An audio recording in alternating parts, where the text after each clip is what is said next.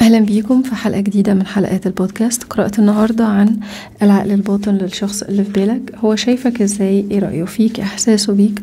وإيه الرسالة اللي حابب يقولها لك دلوقتي؟ الطاقة الزمنية للفيديو مفتوحة من أي وقت بتسمع فيه القراءة. إذا كنت جديد في القناة من فضلك اشترك. فعل جرس التنبيهات علشان يوصلك كل جديد. ال like والاشتراك بيساعدنا إن إحنا نستمر في محتوى البودكاست على القناة. لو إنتوا حابين إن إحنا نستمر فيه. هشوف الطاقة بتاعتكم في الوقت الحالي عشان تعرفوا إذا كان الفيديو ده مناسب ليكم.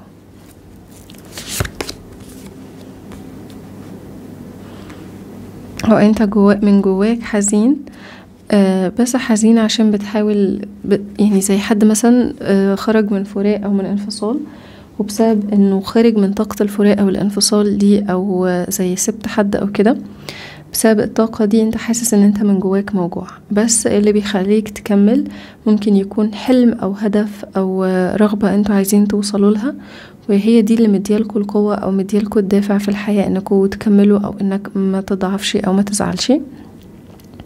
آه برضو في الطاقة دي ممكن تكونوا بتحاولوا تسامحوا نفسكوا على شيء في الماضي ممكن قرار غلط أخدتوه ممكن علاقة كنتوا فيها ممكن إن أنت اديت مشاعر كتيرة قوي أو استثمرت مشاعر كتيرة بس ما كانتش مع الشخص المناسب. فهي هنا زي إن أنت بتحاول تسامح نفسك بتحاول إن أنت تقول أنا أنا أوكي يعني أنا تمام. خلينا نشوف الشخص اللي أنتوا حطيتوا نيتكم عليه.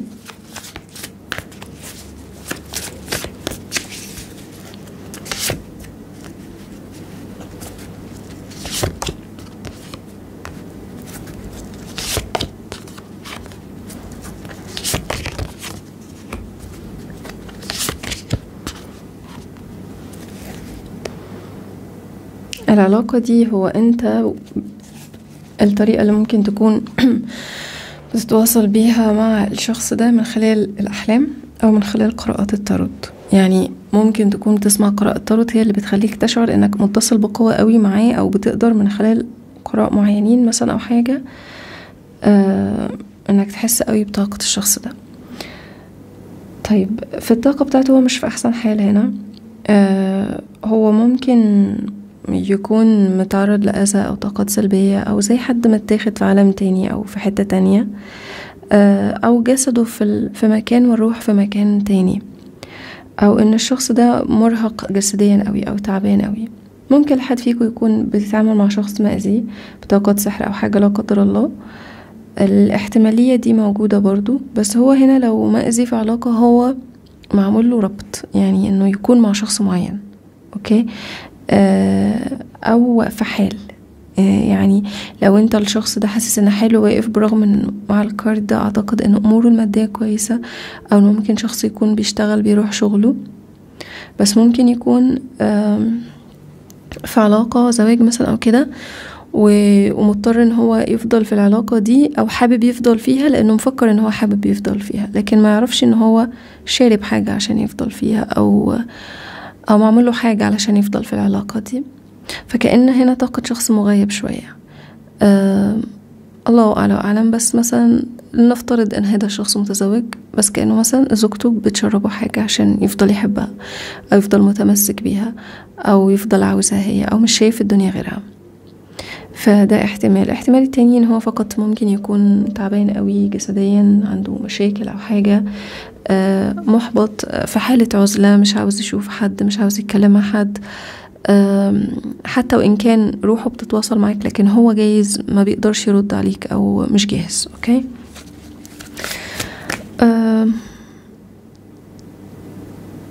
أنا جالي الإحساس شوية إنه الطاقة رايحة في إن الشخص ده محطوط في وضع غصب عنه. سواء الوضع ده فعلا تحت تأثير طاقات سلبية أو مرض لا قدر الله. يعني الاتنين أصعب من بعض فخلينا نشوف هو من عقله الباطن شايفك إزاي.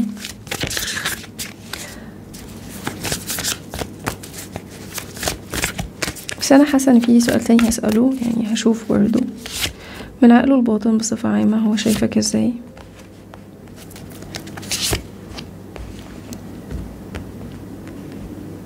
وهل هو مدرك للطريقة اللي هو شايفك بيها في جزء من الشخص ده قدر يشوفك أوكي؟ يعني من عقله الباطن آه هو زي بيلاقي حالة من السعادة أو حالة من بصوا هقولكوا كأن مثلا شخص فاقد الذاكرة بس لسبب أو لآخر اللاوعي عنده فاكر ذكريات معاك أو فاكر مشاعر أو فاكر إحساس معاك. ممكن يكون ناسي ملامحك لكن حاسس بالمشاعر أو التجربة اللي مرها معاك. ممكن دي تكون طاقة علاقة حياة سابقة أو الموضوع فيه complicated معقد قوي. من عقله الباطن الشخص ده بيبقى مندفع أكتر. مثلا عاوز يكلمك عاوز يسمع صوتك آه عاوز يسألك عن حاجة عاوز يجيب لك هدية آه عاوز يبقى فيه تواصل بينك وبينه مستمر وموجود على طول. فلما أنا حسيت بس إن هو ممكن يكون مغيب نوعا ما آه فقلت أسأل هل هو على وعي بإن هو شايفك بطريقة حلوة أو بطريقة إن أنت الله أنت حلو قوي أنت جميل قوي أنت أنت أنت حاجة حلوة في حياة الشخص ده؟ فالإجابة نعم هي ربما نعم إن الشخص ده فعلا مدرك إن مدرك وجودك أو حاسس بوجودك أو عارف بوجودك آه لكن هناك حاجز ما بينكوا أصلا. يعني في ستارة بينك وبين الشخص ده. انت ممكن تكون حطيته ان على كراش يعني ممكن دي تكون طاقة كراش ممكن. بس لو لا ده مش كراش وده حد انت وهو كنتوا يعني في مشاعر في حاجة حصلت بينكوا أو تطور في العلاقة بشكل أو بآخر. وبعدين لسبب غير معروف مثلا الشخص ده دلوقتي مش معاك أو ما بقاش قادر يوصلك أو ما بقتش انت تعرف تتكلموا زي الأول. فهنا في حاجز بينك وبين الشخص ده. والحاجز ده هو مش حاجز نفسي هو حاجز بي بيتم اشتغاله على الجزء الروحاني شوية. يعني يعني كأن الشخص حاسس بحاجة بس في نفس الوقت في حاجة مخليه مش قادر يصدق هل حاسه ده حقيقي ولا لأ.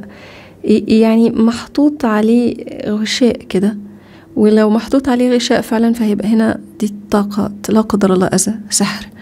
لأنه هو في حتة جواه مشفية برضه في حتة جواه سليمة في حتة جواه لم ت... لم تتعرض للأذى. فالحتة اللي مش متعرضة للأذى دي قادرة تشوف النور لكن غصب عنه هو فرض عليه الظلام أو غصب عنه هو لازم يكون في الظلام. فكأنه من من النور اللي جواه بيقدر يشوف النور اللي جواك لكن ما يقدرش يتحرك لأنه مجبر يبقى في الظلام أو مجبر يبقى في مكان معين. آه وممكن كمان لو الشخص ده بيتعامل معاك بأسلوب غريب آه بيتعامل معاك بطريقة وحشة قوي بعد ما كان بيتعامل معاك بطريقة حلوة جدا بعد ما كان كل يوم بيقولك أحلى كلام حب بقى بيقولك مش طايقك مش عاوزك مش عاوز أعرفك تاني. حاجة زي كده يعني زي انقلبت ال... الحال قوي بينكم اللي هو كان بيحبني جدا دلوقتي مش طايقني. فلو ده حصل ف فممكن الشخص ده يكون فعلا لازم يعملك بالطريقة دي أو مجبر إنه يعملك بالطريقة دي ولكن في كلتا الحالات هو في حتة منه عارفة إنه إن هو بي ممكن يكون بيتعامل معاك بقسوة أو بيتعامل معاك بعنف شوية إيه إحساس الشخص ده تجاهك على مستوى لاواعي؟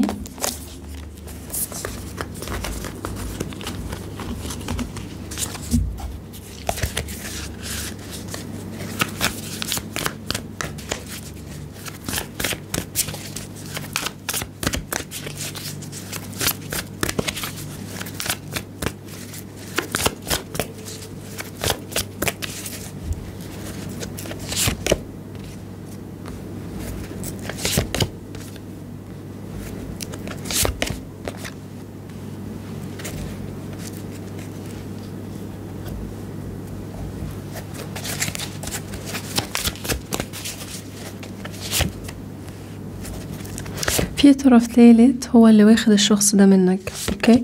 أصل دي دي دمرة روحانية أو قراءة دي بتبقى كأنها خاصة فبتروح الطاقة في اتجاه معين. فهنا هي رايحة لاتجاه حاجتين يعني مهما نحاول نبعد شوية بترجع تاني. الأول طرف ثالث التانية إن فعلا في في أذى نوعا ما موجود للشخص ذات نفسه. يعني الشخص ذات نفسه هو اللي اللي مأذي.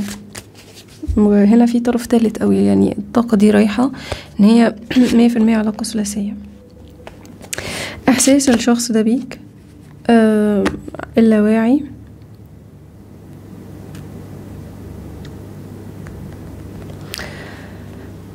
آه أقول لكم حاجة غريبة قوي قوي قوي قوي ظهرت هنا إن الطرف التالت مش إنسان.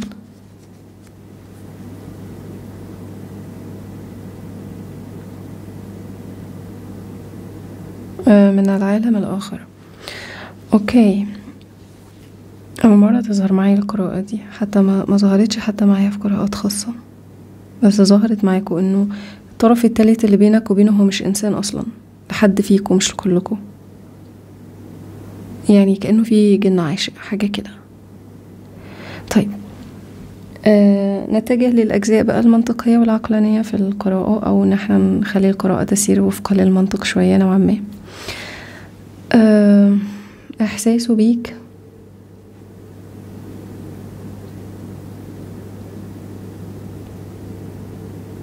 بيخاف مش عارف يحس بيك مش عارف يحس بيك مش مش عارف. كأنه حد حاسس إن الأفكار بتاعته مكشوفة. فلو فكر في حاجة هناك من قادر على رؤية الحاجة دي. يعني لو مجرد إن اتحرك قلبه ليك ممكن حد يشوف إن قلبه اتحرك يعني كأن حد قادر يقرأ اللي جواه وهو مش حابب إن الحد ده يقرأ اللي جواه. آه بس في في حتة كده جوه جوه الشخص ده زي بيجيلها الشعور بالفرح أو بالسعادة لما بيشوفك. يعني كأن حتى جواه كأن حد مثلا راقد نايم تعبان مش قادر بس لما بيشوفك وشه بينور أو بتحس إن أنت شفت السعادة على الشخص ده أو إنه بيطمن. يعني في حتة كده جوه جوه الشخص ده قوي متصلة معاك بعمق جدا بتديله الشعور بالإطمئنان لأقصى درجة. حتى وإن كان في مليون شخص بيحذروا منك أنت.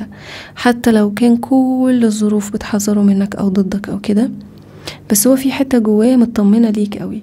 ممكن في حياة سابقة كنتوا أنتوا الاتنين من نفس العيلة. أو كان في علاقة الأب والأم أو حاجة زي كده. يعني أب حد فيكوا أب للتاني أم للتاني أبناء أو كده. أو إن الشخص ده وفقا لطبيعة أو شكل العلاقة بينك وبينه أو حتى عن الأسباب اللاواعية بما إننا بنتكلم في ال topic ده فممكن يكون أنت فيك حاجة بتخلي الشخص ده يحس بالأمان. ممكن صوتك ملامحك إحساسه بيك آه، شكلك طريقة كلامك حاجة زي كده. آه، إحساس الشخص ده بيك زي لما مجرد لو انت جيت على باله بيتعب قوي أو لو فكر فيك بيدخل في حالة اللي هو أنا عايزة أزعق أنا عايزة أتعصب أنا متضايق أنا جاي لي صداع أنا مش عايز أفكر فيك فيروح يعمل أي حاجة تانية علشان ما يدخلش في حالة التعب دي. فكأنه على مستوى لاواعي في ارتباط شرطي بيك أنت وبين الألم أو بيك أنت وبين التعب. فالأحسن ليه إن هو ما يفكرش فيك أو الأحسن ليه إن هو ما يحاولش يحس بيك أو إن إحساسه بيك ما يتحركش. ف ما بحسناش أو أنا ما دخلتش إن أنا أعرف إيه سبب ال ال الشعور بالألم ناحيتك. فإما إن أنت مربوط بألم بالنسبة له أو إن أنت تذكره بشيء أليم برضو أوكي؟ يعني أنت ملامحك وجودك ظهور طاقتك المادية إن أنت فعلا تبقى قدام وجه لوجه ده اطمئنان. أوكي؟ لكن التفكير أو الإحساس بيك ألم وهناك فرق.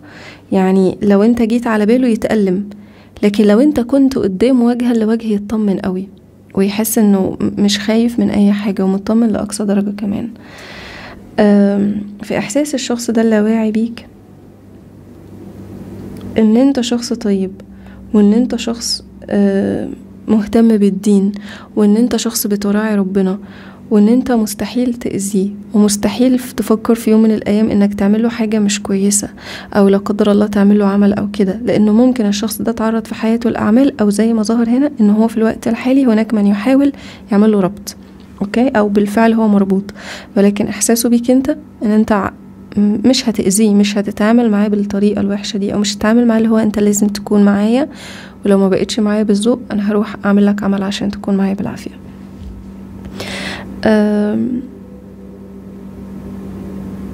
بيحس إن أنت روح روح خفيفة الظل في الحياة دي. آه، أو بيحس إن أنت طفل شوية طفولي قوي أو أو عندك براءة الأطفال. ممكن الشخص ده يكون بيخاف عليكم الأذى. بيخاف عليك تتأذي لأن أنت ممكن برضو في, الطاقة دي آه، يكون الشخص ده مهدد بانه قربه ليك يأذيه ويأذيك أو يأذيك أنت قبله هو.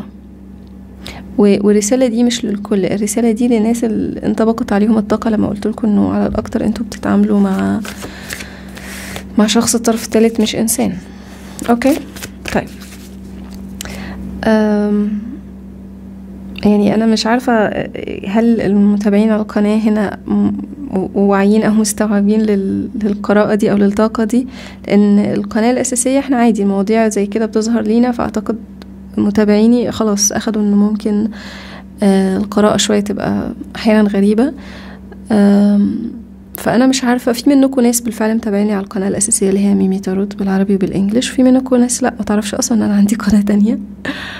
آه فأتمنى في التعليقات لو أنتم مستوعبينها أوكي لكن لو مش مستوعبة ف خلاص مش لازم it's not for you دلوقتي يعني.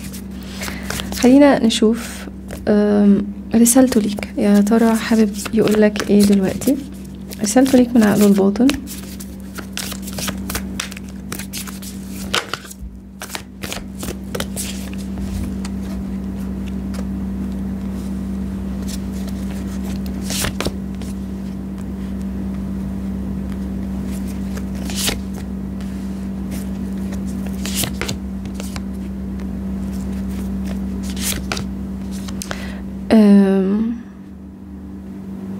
الشخص ده بيبعت لك رسائل من عقله الباطن بيحاول يتواصل معاك على فكرة من خلال الروح وليس من خلال التواصل الحقيقي لأنه ما يقدرش أو لا يجرؤ. ساعات بيحاول إنه يتواصل معاك من خلال الروح أو من خلال الأفكار.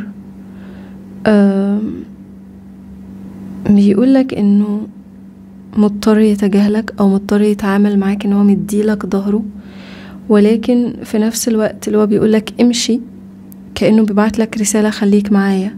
أو ما تمشيش. يعني كأنه بيقولك أنا لما بقولك امشي أنا لازم اقولك امشي وأقولها لك بصوت عالي.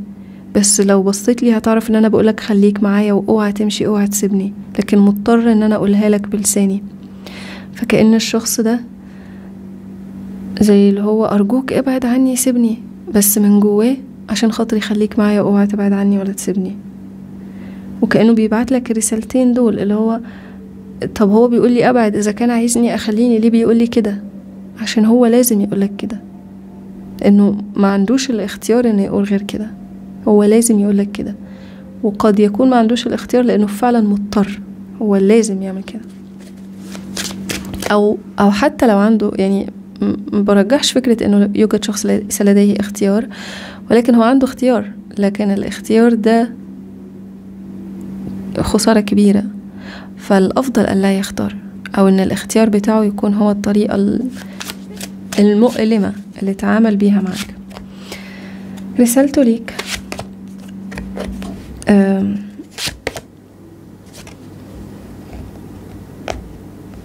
بيقولك إن أنت اللي معاك الدواء أو إن أنت اللي معاك العلاج أو أنت اللي معاك الترياق اللي هيقيه من السم اللي دخل جواه أو الطاقة الوحشة اللي جواه. يعني كأنه بيقولك أنا كأن حد لا قدر الله أخد سم لكن اللي يقدر يصنع مضاد للسم ده هو أنت. أو أو حد لو زي ما أنا حسيت في الطاقة دي يا إما شرب حاجة يا إما إنه لأ هو متاخد في العالم التاني. آه فكأنك أنت بطريقة ما تستطيع إنك تديله مية تشفيه مثلا. أو أو أو تصنع له دواء أو تبعت له طاقات شفائية بس مش هتبعت طاقة شفائية كده. أنت الطاقة الشفائية عندك لو أنت شخص أصلا شغال في المجال فمعناه إنها طاقة شفائية ممزوجة بشيء يستطيع الشخص ده إنه يدخل داخل جسده. يعني حاجة هياكلها حاجة هيشربها. أو إن أنت مثلا هتجيب له مية تشفي أو هتوديه مكان روحاني جدا جدا يساعد على الاستشفاء بعض الأماكن في السعودية. ماء زمزم مثلا يعني. آه فكأنه رسالته ليك اللي هو آه أنت أنت تستطيع أنك تعطيني الترياق أو الشفاء. وفي نفس الوقت كأنه رسالة لحد فيكو هو بيقولك إن هو زمان هو اللي ادالك العلاج أو الدواء وإن دلوقتي أنت اللي دورك إنك تصنع له العلاج أو الدواء. والرسالة دي مش ما يقصدش زمان في الحياة دي يقصد زمان في عصر تاني أو في عهد تاني. لأنه ممكن يكون ال past life بينك وبينه كانت في عصر امبراطوري أو ملكي أو في عصر بداية صناعة الأدوية أو العلاجات أو الاهتمام بمثلا طب طب الأعشاب أو أو استحضار يعني دواء وعلاج من خلال الطعام. أوكي؟ منكم أشخاص منجذبين قوي للحضارات أو للثقافات الآسيوية والإفريقية بشكل عالي جدا. وقت البودكاست خلص لكن أعتقد أن الكلام في الطاقة بتاعتكم لا يخلص وهي ظهر فيها طاقتين أغرب من بعض بس نتركها يعني عند هذا الجزء وعند هذا الحد. وأشوفكم على خير إن شاء الله بفيديوهات تانية. إذا حابين إحنا نستمر بالسلسلة مش أوصيكم like و share ده اللي يساعدني إن أنا أستمر في نشر الفيديوهات البودكاست أكتر أو إن أنا أسجلها من وقت للتاني سواء زي ما قلت لكم قبل كده مرة في الأسبوع آه، أو مرتين أو مرة في الشهر يعني حسب التفاعل هتكون. آه، وشكرا ليكم وشكرا للأشخاص المنتسبة في القناة. باي باي.